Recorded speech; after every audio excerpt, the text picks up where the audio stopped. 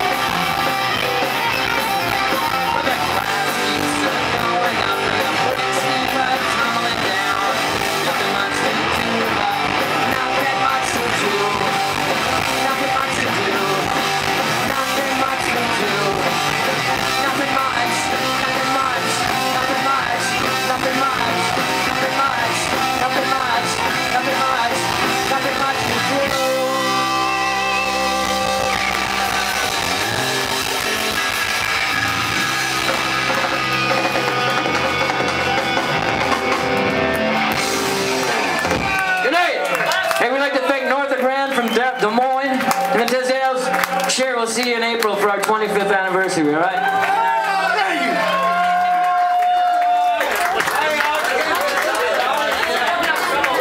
I will be accepting fistfights after the show.